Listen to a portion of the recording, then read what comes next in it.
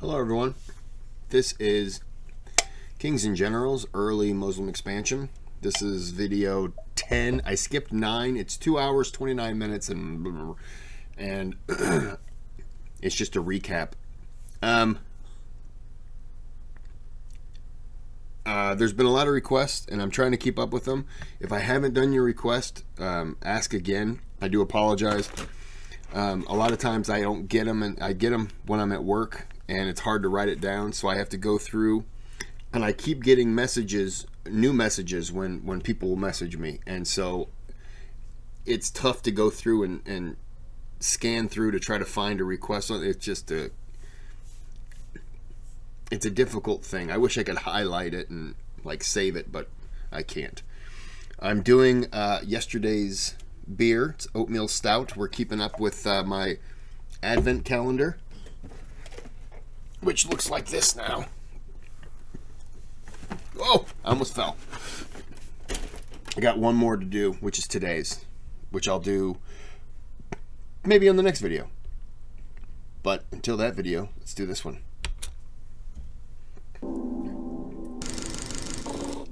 In less than a generation, the young Muslim faith had gone from a niche religious movement in the Arabian desert to the greatest empire in Eurasia, accomplishing the unthinkable in crippling the ancient lineage of the Persians and seizing the extremely wealthy lands of Egypt and Syria. Yet, as seen time and again, the larger empires grow, the more prone they grow to fracture. Thus, Season 3 of our series on early Muslim expansion will begin with the fitnas, the civil wars which saw internal turmoil engulf the massive caliphal realm. In those times you needed a whole house of wisdom to store and process knowledge, now we've got an easier way with the sponsor of our video, Blinkist.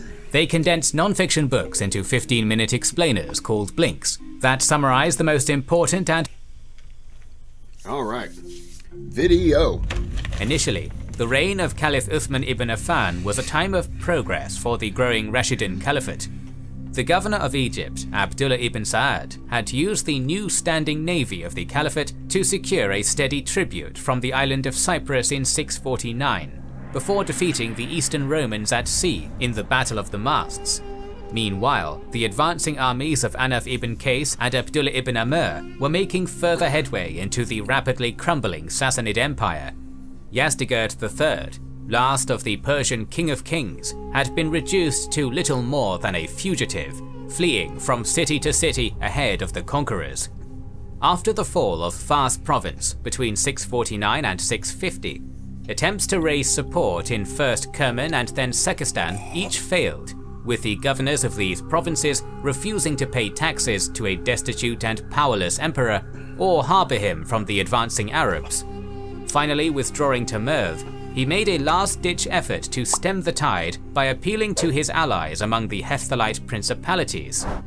Some soldiers were indeed sent to support him, but they would never see battle against the Arabs, unwilling to continue throwing away lives in a hopeless war after the desertion or surrender of Yazdegerd's vassals, his last general Farrukhzad abandoned him in 651 with Merv's governor Mahuisuri turning against him as well shortly after. Uh-oh. With his last supporters defeated by Suri's own Hephthalite allies, the King of Kings finally met his end, hiding in the home of a humble miller outside Merv, murdered for his jewelry. While local resistance would continue in Tabaristan for years to follow, the once great Sassanid Empire had ceased to exist its dynasty continuing only through a family of exiles taking refuge in China. But for all the military victories of the Caliphate during Uthman's 12-year reign, its domestic policies would soon beget internal turmoil for the young and rapidly expanding state. That's a lot the of territory. The caliph's nepotism and unpopular economic policies created growing opposition to his rule from various strands of society. During Umar's reign, laws had been set in place forbidding Arab soldiers from buying land in conquered territories, keeping soldiers strictly separated from local populations, both to prevent foreign influences on the faith of his victorious armies and to protect the property of the conquered. Under Uthman, these restrictions were removed, causing many soldiers in the Caliphate's armies to buy up huge tracts of land in Syria and Iraq. Uh, I just pointed again. I didn't understand why you would stop your guys from buying land, but to protect the property of the conquered people, that's a great that that's a great reason. You know, if you were to buy property, if you're a soldier, you buy property, man, those people are going to look at you. They're going to hate you. If if they, you know, if it. Oh my goodness. Um. If it was, uh, you know, if it was a hostile takeover, they're going to look at you like, oh, okay, well, you know, maybe that person, maybe that soldier could kill me. But I think that shows a lot of respect to the the people who had nothing to do with the fight. You know, and it, it allows them to still leave a lead a life uh, farm you know just have have a respectful life. You're you're not being conquered in a way. You the your your government you know was conquered. But like they're allowing you to um to live your life and i think that's good. I can see this change where uh, this right here how do you know that like this soldier maybe he just goes to a house kills the owners and then turns around and says, "Yeah, I bought it, and now I'm going to sell it." That's that's all profit. Like this right here is is a little dangerous. But anyways, enough of my talking. In some cases, abusing their power and authority in order to drive inhabitants out and resell the same land at large profits, yep. creating a new class of wealthy ex-soldiers establishing lavish estates across the caliphate. This new taste for luxury among the conquerors drove up taxes and created great resentment among both non-Muslims and non-Arab converts. On top of economic friction, Uthman also created for himself a theological controversy through his creation of a unified official version of the Quran. Prior to this, the ad hoc nature by which the Prophet's revelations were recorded and transmitted by his closest companions meant that many Qurans had minor variations in the text from one to the next, undermining a faith based on an eternal and infallible word of God. To correct this, Uthman had a gathering of religious scholars determine the canon account of the Prophet's words, gathering and burning as many of the variant Qurans as possible. The Quran of Uthman remains unchanged as the holy text for Muslims around the world today, but during his reign, some Muslims disagreed with the decisions Uthman's scholars reached, or saw the destruction of any Quran as sacrilegious, adding their voices to the growing opposition to his rule. So, hold on.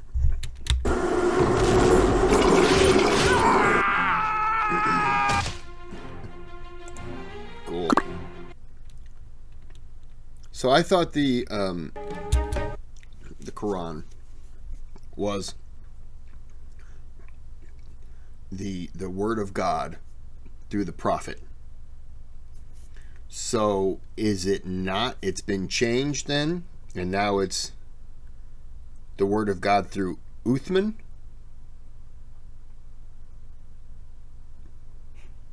Just curious.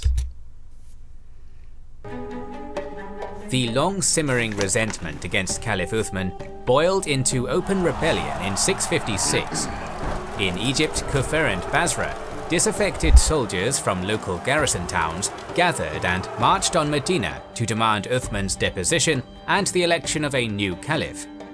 Having been told by agents that the grievances against him were frivolous and a revolt unlikely, Uthman was caught unprepared when the bands of soldiers converged on Medina Though he refused to step down as caliph, Uthman attempted to reach a peaceful settlement, sending Ali ibn Abi Talib, the Prophet's son-in-law and one of the first Muslims, to negotiate with the rebels on his behalf.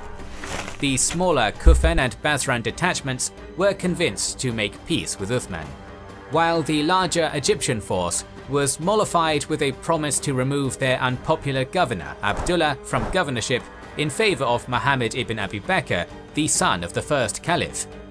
With Ali as guarantee of the agreement and Ibn Abi Bakr leading them, they began their return to Egypt, apparently ending the immediate danger for Uthman. But on their return journey, the soldiers waylaid a messenger bound for Egypt with orders to have the rebel leaders executed. Taking it as a sign of treachery on Uthman's part, the rebels returned to Medina and surrounded Uthman's home, besieging him within, and once again demanded his resignation. Uh-oh. Whether Uthman really ordered the rebels executed is unclear, with most accounts crediting the message not to Uthman but to his cousin and secretary, the future caliph Marwan ibn al-Hakam.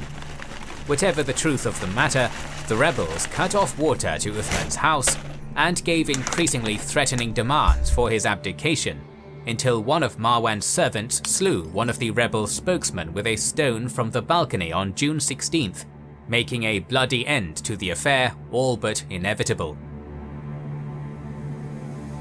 Abandoned by most of his Umayyad clan, with the Iraqi rebels and notables of Medina remaining neutral, Uthman ordered his remaining defenders to stand down in hopes of avoiding bloodshed between Muslims when the rebels attacked the house the following day. Regardless, Marwan and the children of Ali refused this order and attempted to save the life of their caliph. As Uthman sat for his noon prayers, Muhammad ibn Abi Bakr and a few of the Egyptian rebels climbed into his home from the roof of a neighboring house, threatening the caliph at sword point. Though accounts differ on the specific events, and on Abi Bakr's role in particular, the final outcome was the same. Uthman was the first caliph to be murdered by his fellow Muslims, an event that would shake the Muslim world to its core. Following the murder, the rebel bands effectively controlled Medina, and under their influence, particularly the Iraqis, Ali was elevated to the role of caliph. As the Prophet's son-in-law and one of the major candidates in the previous election, Ali seemed a safe and popular choice. However, his reign would be saddled with the scandal of Uthman's murder, and demands for justice placed the new caliph in a difficult position. Do you think Ali had anything to do with it? the murder of Uthman? Curious. What's the um, what's the opinion? Sorry, what's the opinion of Uthman today? Is it mixed, good, bad? Curious. Given Ali's efforts to defuse the rebellion and the injuries his own son Hassan suffered in Uthman's defense, it is incredibly unlikely he had any role in his predecessor's murder. No, never but mind. many of the rebels who had opposed Uthman were now his most important supporters, so punishing them would have alienated his power base and potentially led to his own demise. Stuck in a trap, Ali allowed Uthman's murder to go unpunished, which led to accusations of weakness and complicity, particularly from Uthman's powerful Umayyad clan, laying the groundwork for the First Islamic Civil War. The first stirrings of conflict came from Talha ibn Ubaydullah and Zubair ibn al-Awwam, Ali's main competitors in the election that had brought him to the throne. In the past, the two had fought alongside Ali as comrades. But despite Talha's own previous opposition to Uthman, they had been among the most vocal for action against the rebels and were quick to make common cause with another of Ali's detractors, Aisha, the widow of the Prophet himself. With Aisha as the unifying spiritual figurehead of the rebellion, funding from numerous Umayyad governors deposed by Ali at the beginning of his reign, and several prominent Muslim leaders, including Marwan and the murdered caliph's son, Aban ibn Uthman, flocking to her banner, Aisha's rebel army represented a significant challenge to Ali's leadership. Ali should have. Um, uh, it's a it's a tough spot, but he should have punished the people who killed him, killed Uthman, and then um, tried to distance himself from it. But not doing anything, man, that really makes him look bad. I'm not gonna. I won't say it look, makes him look weak, but it makes him look like he had something to do with it, which isn't a good picture. Unfortunately for the so-called Mother of the Faithful, a number of crucial mistakes would undermine her cause. A great deal of effort was wasted trying to rally support in Iraq, despite most of the region being loyal to Ali. Then, when rebel leadership left Mecca to gain support in Basra in mid-October 656, internal discord fomented within their cause.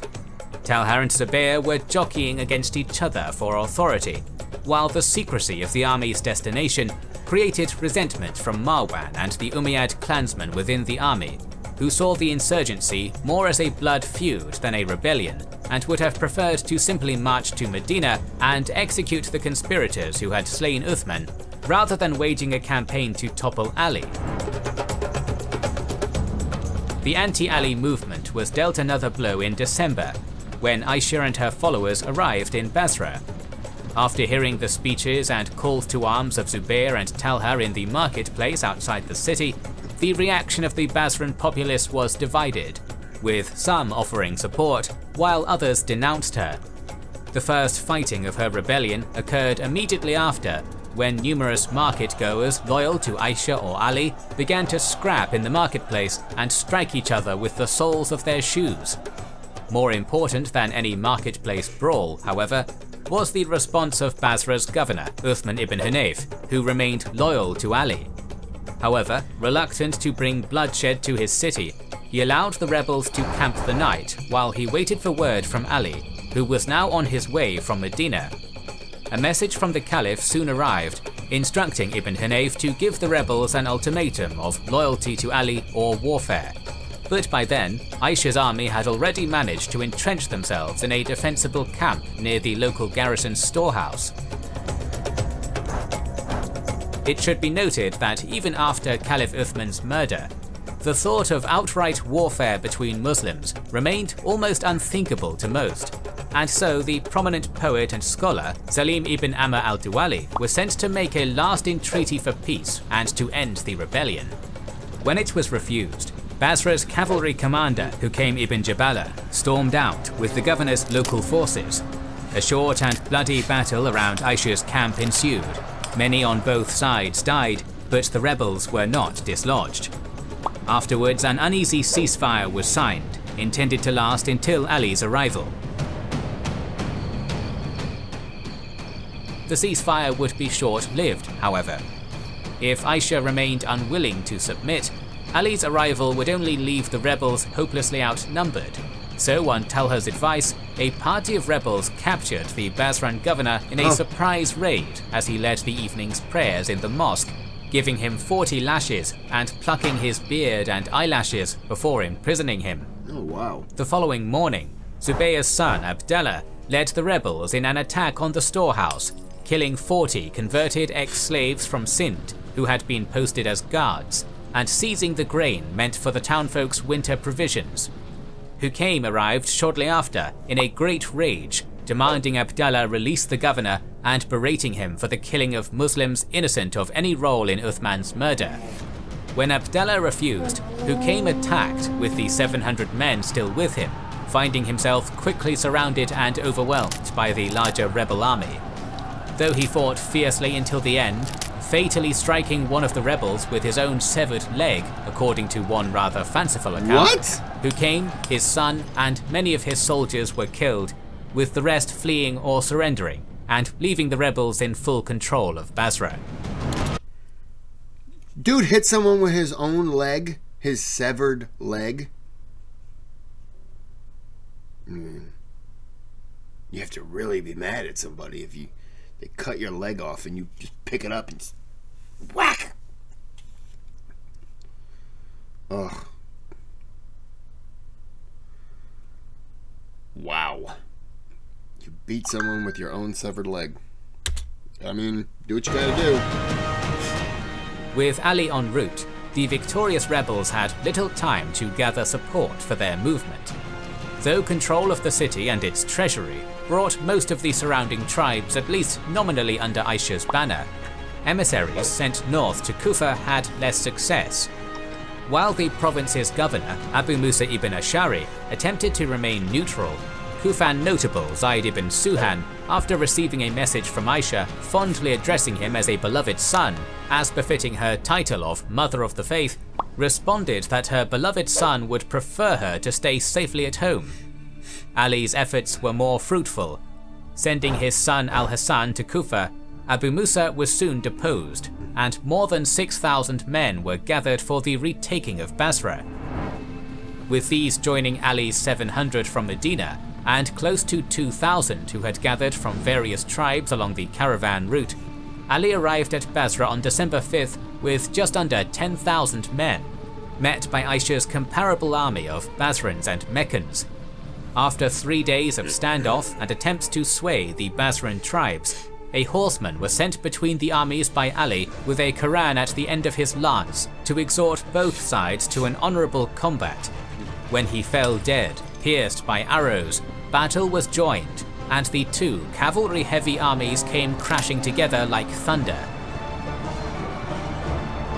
Despite Aisha having, by most accounts, at least as large an army as Ali prior to his arrival, defections of several Basran tribes, both before and during the battle, weakened her force significantly. In the center of Ali's army, Abu Qatada al-Numan led the Kufan foot soldiers, while Ali's son, Muhammad ibn Hanafiya, carried his father's standard. On the right wing of Ali's army, Malik al-Ashtar led the bulk of the Kufan cavalry, soon routing the tribesmen of the Banu Hanzala leading Aisha's left. And on Ali's left, the storied companion Ammar ibn Yasir is said by some to have driven Zubayr, who had been given overall command of the rebel army, to abandon his army and leave without fighting. Zubayr's desertion is a matter of some mystery. Despite his past victories and talent as a commander, all accounts agree he abandoned his army and retreated very early in the battle, though there are a variety of reasons given. Some suggest that secret correspondence from Ali convinced him he had taken the wrong path, or that the Prophet had once said that Ammar would die at the hands of a band of wicked men, leading Zubayr to question his role when the two came face to face on the battlefield.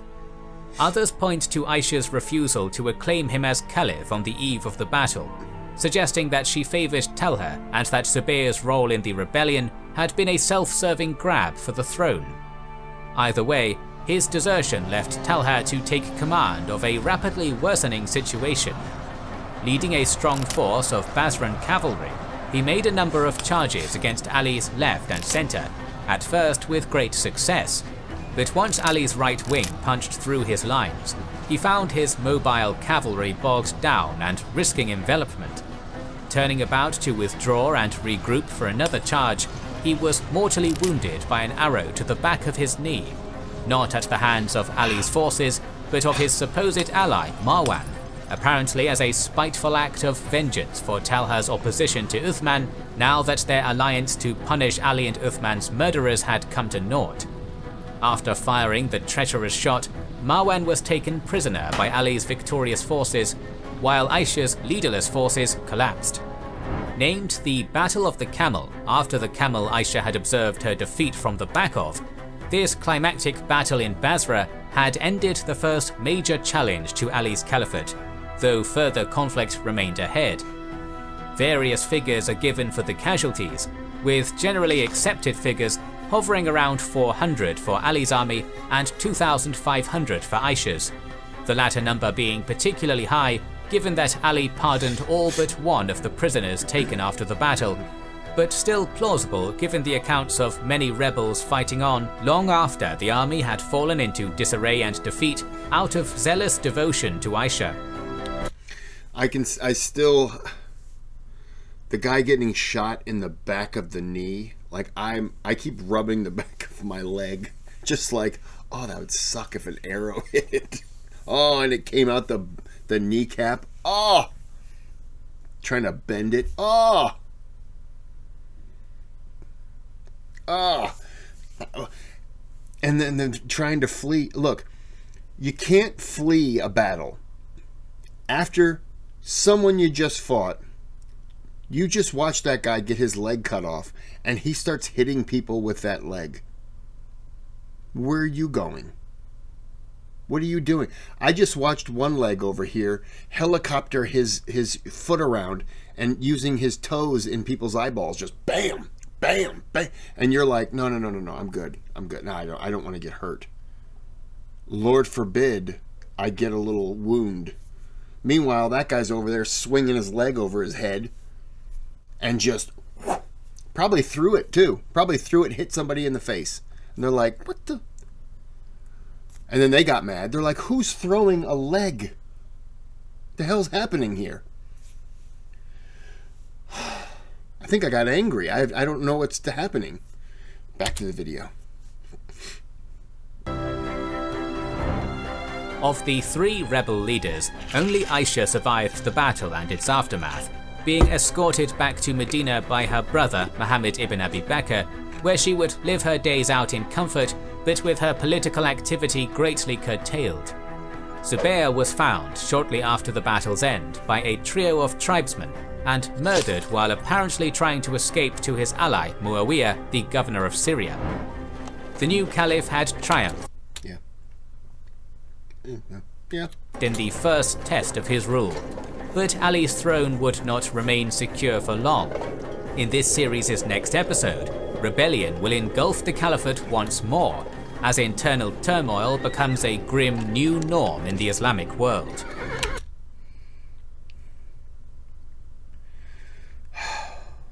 Where's Khalid? Oh, he'd be in there, waving his sword around, cutting heads off. That's all that guy did. Okay. I mean, oh, I just got that feeling in the back of my leg again. Oh, right in the. Oh. Just imagine an arrow in the back of the knee, just of all places. An arrow, period, entering your body is. I'm. It's never happened to me, but I'm going to say. I'm going to say with about 60% accuracy, it's probably a pain, like it hurts. It's painful. And I'm just, it may, other people are like, it's nothing. But, oh. And then old one leg Joe over there just beating people in the face. He's like, hey, how my toes smell? Bam! People are like, ugh, terrible. Okay. Oh, before I end this video, it is the 13th. So let's find the 13th. And I'll break that beer out. And, uh, okay, so can I not count? Oh, 13's right in front of me. Okay. Let's break out 13. Let's see what we're to drink for the next video. Ow.